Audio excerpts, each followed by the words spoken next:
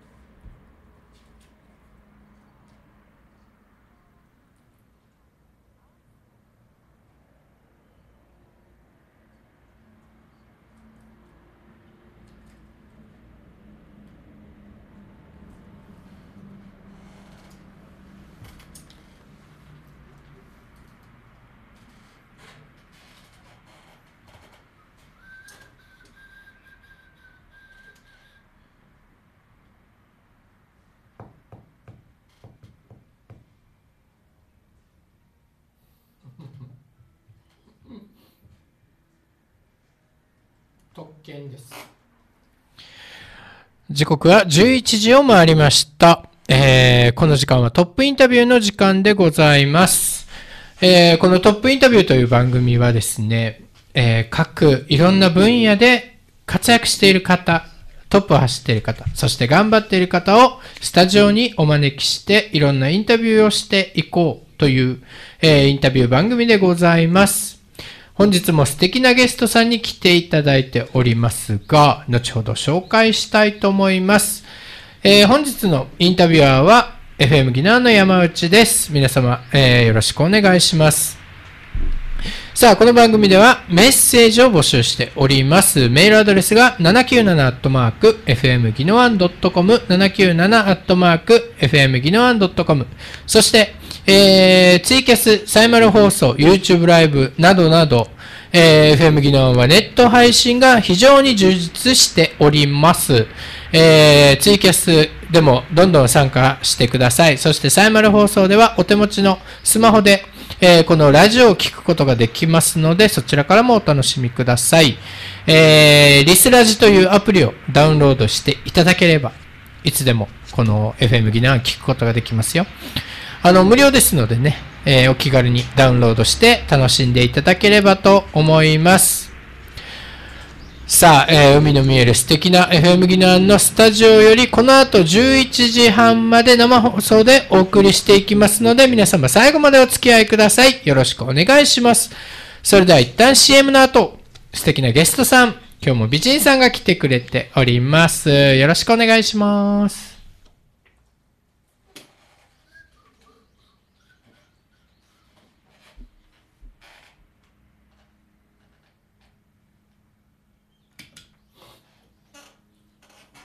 研究家さん？そんな感じに見えるんですね。えなんでだろう？まあ、最近はあのキャップにユニフォームだったんで多分全然違う感じかもしれないですね。いつもあれですよね。なんかビッとしてますよね。いえい全然です全然。でそうですか。すはい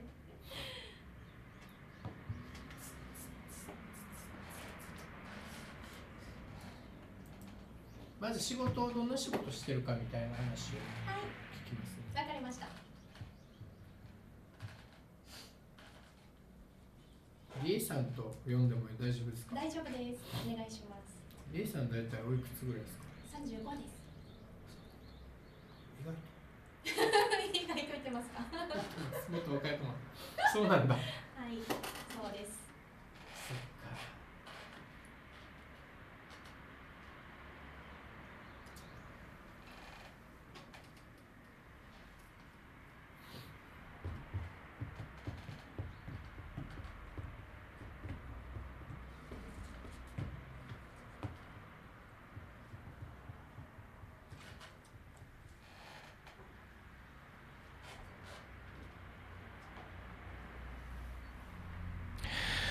さあ、えー、お送りしている番組トップインタビューでございます。本日も、えー、素敵なゲストさんに来ていただいておりますので、早速自己紹介していただきましょう。よろしくお願いします。よろしくお願いいたします。えー株式会社プライムコンセプト、小永理恵と申します。はい、小長さん、りえさん、よろしくお願いします。はいえープライムコンセプトはい。というのは、どういった会社ですか？はい。プライムコンセプトとは、うんえーそうですね。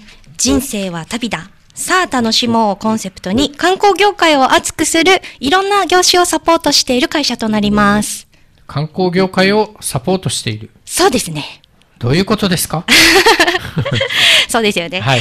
えーまあ、あのー一番大きい事業といたしましては、はいえーホテル、旅館様を対象にうんコンサルティングを行っている集団となっております。へーはい、経営から現場、うん。で、私が携わっている求人コムという、うん。え求人ですね、はいはいはい。あの中にいる人事というところになってくるんですけども、うん。そして今じゃ欠かせない、はい。えー旅行をする際に皆さんってウェブ予約をされることがはいはい。もうほとんどなんですけども、うん。そのウェブ予約のプランを作成させていただいたり、ここういった文言だとお客様が来やすいですよとか、あのアドバイスをさせていただいている会社となっております。なるほど。はい。えー、大塚健二さん、料理研究家さんじゃないですよ。はい。違いました。その、えっ、と、プライムコンセプトという会社の、はいえっ、と、人、な、ど何そうですね。私の方は、はいうん求人コムという求人サイトを運営している運営者の方になりますうんね。なるほど。はい。えっ、と、この求人というのは、はい。あれですか？観光業界に特化した。さようでございます。観光業界に特化しておりまして、はい沖縄の独自の、えー沖縄観光求人コムというサイトがございあま、す。沖縄独自なんだ。そうです。んなので、、沖縄に所在があって、観光に関する求人であれば何でも掲載ができるというものになっております。なるほどですはい。ね。さらにグループサイトでうん、ホテル求人コム、そして旅館求人コムという、えー、またこちらも、まあ、グループ求人としては大手になるんですが、うんはい。そのサイトを運営しているというところになります。あの、僕一回テレビでですね、はいなんか本当に潰れかけの旅館を再生するはい。人がいたんですよ。うん。その、多分この会社から派遣されて、っはい。ていうのがいたんですうんけど、うんうんそんな感じでしょうね。まさしく、そうだと思います。ですよね、はい。で、この、なんていうんですかね、再生してきたら、売り上げの、まあ、何年目ので、売り上げの何パーかでっていう感じでしたけども。そうですね。まあ、あの、コンサルティングの契約にもよりますけども、うんやっぱりその、まあ、経営というところでうん数字を見て、はいはい。で、まあ、サポートをさせていただいて、その売り上げを上げて、うん成果報酬というところになってまいりますね。ですよねはい。だからこれ、売り上げ上げないと逆に言えば、そうなん報酬がそうでござます。ないかなか取れないという。はい。はい、すごいね。あの、ある意味本当に良心的ですよね。そうですね。ウィンウィンの関係でいられるっていうのはすごいあると思います。ねはい。上がっていけば一緒に上がるし。そうです、そうです。で、下がらないようにするのが 私たちのお仕事でございます。そうですよね。はい。えー、まあね、そんな、えー、りえさんは、そんな会社の、はいえー、求人部門というのをやっていますが、はい。えっ、と、出身はどちらですか？浦添市です。ずっと沖縄？ずっと沖縄です。あ、そうなんですか、はいなんか、なんかあれですよね。内地雰囲気ありますよね。それはなんかよく言われます。顔、顔でしょうかね。いや、雰囲気じゃないですか。はいこの、ねなんか、洗練された感がある。いやいや、ありがとうございます。あのー、小長さんは、はい。本名。本名です結婚してお長とかではないですね。ないあーはい、そうです。そうなんですはい。ね。えー浦添出身ということで、はいえっ、と、なんていうんですかね、ずっとプライムコンセプトですか？いえいえ、かなりまあ転職回数は多くありましてか、だからこそのまあうん強みというか、はいはいはい求人コムでも、やっぱりその、人生の節目になるんですよね、転職って。なります。その転職をまあサポートできるっていうところはあると思います。ああ、なるほど、はい。えーちなみに、まあ、観光系だとは思うんですけど、はい。今まで観光系だったんですか？そうですね、えっ、と、前職が、うん。あの、まあ、ビジネス、某ビジネスホテルの支配人補佐をさせていただいておりまして、えできそうね。いえいえ、大変ではございましたが、ん。っていうところですね。そうですけど、はい。できそうですよね。頑張りました。はい。すごくはい。きめ細やかな感じがしますが。そうですね。ね人事はきめ細やかに対応しないといけないので。ねはい、僕がですね、実は、えっ、と、いろんなことをやっぱ忘れるんですけど、忘れますか？みえさんはもう全くこう怒らず、いえいえいえ。あのー逆にメールいただいたりね、うんすごいこうありがたいなと思っていやたんですよ。っぱあの、まあ、サポートというか、はい。人間誰しもポポンと忘れることって絶対あると思うんですよね。あともう忙しすぎて、手が回らない、やっぱりあると思うので、はい。まあ、そのタイミングで、うんまあ、これぐらいのタイミングだったら迷惑ではないかなっていうタイミングで一応まあメールはお送りしたりとか、お電話をしたりとかっていうのはしてますね。そのあたりのはいこの気遣いというか、そういったのがね、僕は素敵だなと思ったんですけどあ、りがとうございます。えーと、その、なんていうんですかね、この仕事にはい。入ったきっかけはい。というのはどういったものだったんですか？そうですね。まあ、あの、その前職のホテルの方が、はい。えーまあ、契約満了で終わらせていただいて、で、ちょっとまあ、お休みをさせていただいたんですよね。はいはいはい。で、まあ、そこで次何しようかなっていうところで、うんまあ、全然違う観光業界じゃないところももちろんいろいろ考えたんですけども、はい。まあ、あの、やっぱりその、現場というか、うん目の前でお客様に会えるというか、うんうんそれがやっぱりすごい楽しかったんですようね。んなので、やっぱりそれは残しつつも、うんあの、やっぱりと、まあ、福利厚生とか、そういったはいはいはいサポートがきちんとしている会社でと思ったところ、うんプライムコンセプトだったっていうところはあります。おーなるほど。はい。うん。えー大塚健二さんから来てますね。前職ホテルの方が求人扱うならきめ細かいんでしょうね。と来てます。ありがとうございます。はい。はい。きめ細かいですよね。きめ細かいですし、やっぱりその人事担当してたからこその求人票の見方だったり、うんまあこのプライムコンセプトに、コンセプトに入る時の、はい。まあ自分も応募者だった、会員様だったっていうところはあるので、どちらからの見方も見れるっていうのはあると思います。なるほど。はい。で、あの、この会社の、まあ、この言うなれば、はい。この人人事というか、求人の求人事業、はい。サイトの、はいこの、あの、なんていうんですかね、この特性というか、まあ、はいさっき言ったけど、観光業界、うん。えーに特化してるという、はい他にもなんかそういうのありますか？強みというか。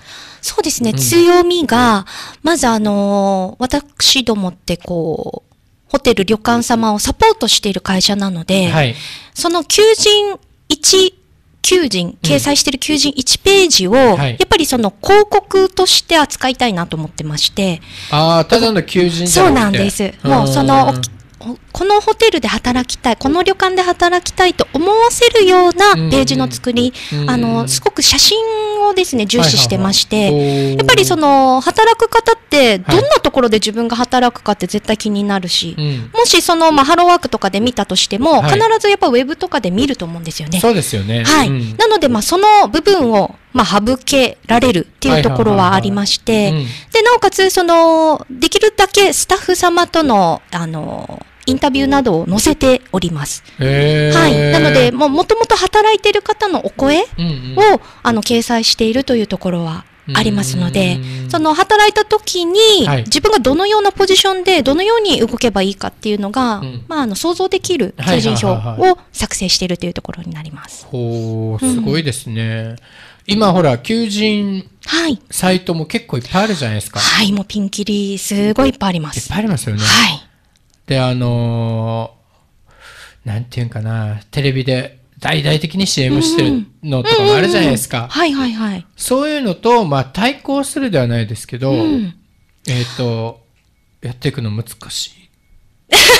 遠いけど。ありますよ。ねあのーまあ、あのー一番はその特化しているっていうのが、ホテルと旅館で、うんホテルと旅館で働きたい方と、ホテルと旅館が人がいないっていうところを結びつける。だからノンマッチングが少ないのが一番、ああ、そっか。もう業種が業種が限限られてるから。られている。そうなんですよね。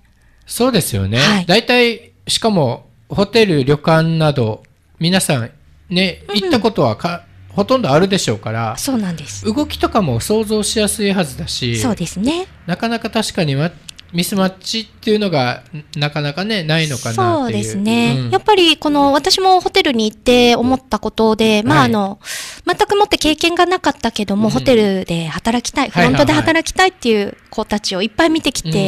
でやっぱりそのノンマッチングにならないように面接を行うっていうところもあるんですけどもはい。もともとやっぱりどういうことをするのかっていうのを想像して面接に来る子と、うん。そうでない子ってやっぱり差があるんですよね。はい。なので、こう、その求人票を見て、あ、どういう仕事をするんだっていうのが分かるうんっていうのはすごい強みじゃないかなと。でも思って企業にとってもね、うんありがたいと思いますよ。うん。その やっぱりねうちも特に多いんですけどはい。やっぱラジオうん。局って結構ねやっぱすごい華やかなイメージとかはい。その持つんですよね喋ればいいみたいな仕事は、でももう実際ねはい。仕事なんてそんなもんじゃないじゃないですかそうです。喋る仕事なんつうのはほぼないですからうん。あのまあ雑用だったりそはいの、書類作りとかうん。運営とかはい。結構ね大変なんですけどそのあたりを、うん。あのーやっぱりこう出していくっていうのはなかなかね厳しくてそうなんですよね。うちはね結構ミスマミスマッチングがあるんですよね。なるほどですね。また、そうですね。ラジオとなると、結構閉鎖的というか、その裏側がわかるって難しいかもしれないですね。ねうん。だからそういった意味で、はいこの求人の時にそういったのがこう分かるような工夫をしていただけたらそうなん。非常にありがたいと思ます。ないので、今度一日密着とかしましょうかね。山内さんの。あ僕に密着しても、はいあのースタッフさんの。そうそうくだらないので、あのスタッフがいいです。はい。はいスタッフさん密着。もうでも本当にやっぱりそういうものをやることによって、その求人票の PV って上がるんですよね。えーはい。それがあることによって。すごいですよね、うんその本当にただ求人載せるだけじゃなくて、うんやっぱり相手のことを考えてるっていう感じがすごいします。見やすさ、うんやっぱりそれでのマッチングを避けるというところと、あとはまあ会員様にとって今あのキャンペーンというか、はい。あの私たちのその求人コムグループで求人サイトで応募をして、うん。えー採用になった方は、はい。採用お祝い金をプレゼントしておりましいて、えすごいね。2万円分ですね。正社員の方は、はい、アルバイトの方は1万円というところになりすます。ごい素敵ですね。はぜひね、その考えてる方は。えーなんていう名前ですか？なんてはい。検索すれば？まあもう沖縄観光求人コムで沖縄観光求人コム。はい。入れていただければ、観光求人コムですね。すぐ出てきた。はい。出てくるかと思います。最近やはりあの、ホテルラッシュと呼ばれるところで、うん新規で建てる方、すごい多くてですね、すぐ出てきた。もう、やっぱり人事気になっている。はい早々に、まだ立って終わってないけども、もうはい先に出し、出せ、出しておきたいという方からの、あの、お問い合わせとかがすごく今多いところになってますね。あの、沖縄観光まで入れればすぐそうですね。出てきますね。はいはい。あら、素晴らしい。素敵ですね。はい。海をイメージした青いサイトとなっておりますので、はいぜひ見てみてください。最高2万円お祝い金プレゼントというそうことですよ。はい。はい、えー、いいですね。こんなやってね、やっていきますが、他にサイトも運営してる。そうですね。あの、まあ、こちらの FM ギノワンのはいスポンサーとしてやっている、はいこれはあの、観光ポータルサイト事業というものになるんですが、はいはいはいウォーキング沖縄うんというサイトを運営しておりまして、はい。で、ウォーキングってあの、沖縄だけじゃなくて、うん。実はあの、いろんな地域に特化している、ウォーキング〇〇というものがあります。ほうほうほうほう。はい。ウォーキング松本であったり、うん。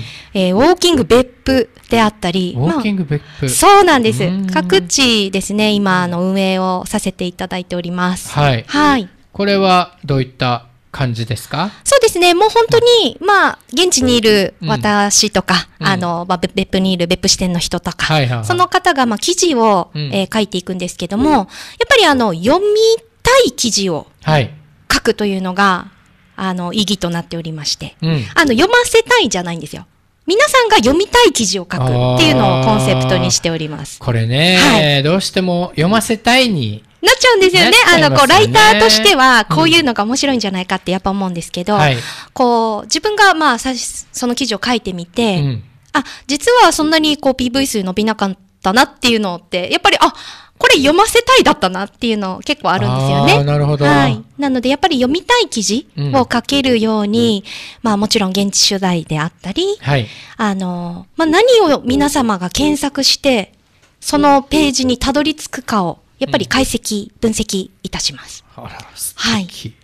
これね、あの、ぜひ見てほしい、皆さん。はい。えー、ウォーキング沖縄。はい。で、ウォーキングは別にカタカナでいいので、はい。調べていただけると、えー、実は FM ギノアンのこの水曜日ね、今日の夕方6時から月1でやっています。はい。えー、知識ゼロ OL が横浜ベイスターズファンになるまで そうなんです。というこのまあ企画でございます。企画があってね。はい。うんこれがね、面白いんですよ。ぜひね、こちら見ていただきたい。いや、もう本当にこの企画始めてから、うんまあ、あの、その読みたい記事というところの中の、うんその読みたい読者さんの幅がすごい広がったなと思ってまして。ああ、やっぱ野球がはい、ね、野球ファン。はい。この少年から本当にお年寄りまで大好きですからね。大好きですね。はい。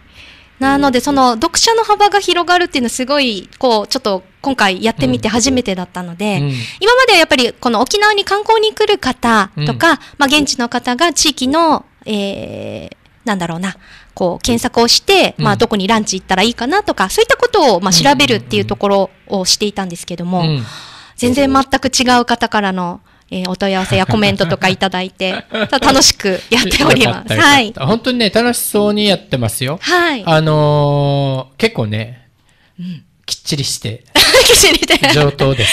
企画をきちんと、そうはい、しております。ベイスターズ女子になるまでということで、はいこれね、本当見てほしい。面白いよ、ババーって本当見れますからね。本当ですね。うんまあ、宜野湾と本当にゆかりがあるというかう、んその地域にそこ、そう、それこそ特化できたなっていうのはあります。しかもね、やっぱ女子の視点でこう書いてるからコメントも載せてね、はい面白いですね。そうなんです。はい、えー、リエさんも出てきますので、はい。はい。似顔絵とともに。似顔絵とともに 出てまいります。はい、面白いですね。はい。はい、ぜひ、あのーどちらもね、あのーなんていうの？検索してもらって、そうですね。まず一度ちょっと見てみてください。特に沖縄だと観光に、今から観光客をまた伸ばすという県の、はい。方針。もありますのではい。うん。えーどんどん観光業は熱くなって、そうですね。深くなっていきますので、はいえーぜひそちらもご覧ください。えーと、りえさん、あのー仕事やる上ではい。一番心がけてることって何ですか？そうですね。一番は時間を大切にしていることです。おどういうことですか？あのーやっぱ自分の時間もそうですし、相手の時間も大切にできるのが、やっぱり社会人かなっていうのはあって、素敵。もう、胸が痛い。胸が首も痛い。全部痛い。でも一番本当に尊いものだと思うんですよね。ああ、もう胸が痛い。そうです。はい。そうですね。時間を大切にしているかな。やっぱりこうやってお話しできる機会、はいタイミングだったり、すごい縁も大切ですけども、うん時間って大切だなと、うんひしひしと私も思っているところですね。時間を大切にして、はいえっ、と、やっぱりそれは相手をこう、のことを考えると。そうですね。すよねもう、やっぱり相手ありきなんですよね。仕事ってどうしても。一人でって難しいと思うので、そこですね。わかる。りえさんね、はい全部それはね、見て取れる。ありがとうござあの、います。サイトの運営にしても、このサイトの作りにしても、はい。そのコンセプトにしても、はい。全部、やっぱ相手に寄り添ってるなっていうのがう、ん話し方もそうなんですよ、実は。あ、本当ですかそうそう。だからね、素敵だと思います。サポートをさせていただければと。はい。皆さんぜひね、りえさん、りえさんファンになってもらえたらいいと思います。そうですかね。うん。ぜひ、そうですね。あとはもうやっぱりこう、その業務の中うんに一つ楽しみを作ることですかね。ああ、はいはいはいはい。楽しみをなるほど。うん。楽しみがないと人って続かないと思うんですよそれもやってるよね。なんかケタケタ笑ってるもんね。そうなんです。こっち来てもね。楽しんでますね。はい、素晴らしいですね。うんそれでは、最後に、えーは将来の目標というか夢というかはい。そういったのを教えてもらっていいですか？そうですね。うん。えっ、と、今ですね、新入社員も、あの、入ってきて、ほうほうほう。一番この新生活始まりのスタートダッシュだと思うんですよね。うんうんで、それが、こう、今回、こう、目標を立てたことが、うん。3年後、まあ、花が咲いているように、うん。と思っておりまして、また人のはい。サポートサポートを させていただければと思っております。はい。はいえー本当にね、最初から最後まで夢に至るまで人のサポートということで、やっぱりね、はい。こういう人っているんだなぁと。えー、大塚健二さん来てますよ。その気持ち持ててるの素敵だなということです。本当ですよね。えー耳が痛いですということで、えー、打ち当たりした人も多いんじゃないでしょうか、今日はね。本当に。はい。はい。えー、ぜひこの2つ、えーウォーキング沖縄、そして、えー沖縄観光求人コム。はい。はいえーぜひそちらアクセスしてみてください。はい。えーぜひですね、お気軽にお問い合わせしていただければと思います。あ、どうしよう。質問来たな、変な質問。えー大塚健二さん、玄関の鍵のかけ忘れとかしないんですか？かけ忘れはあんましないですね。しないよね。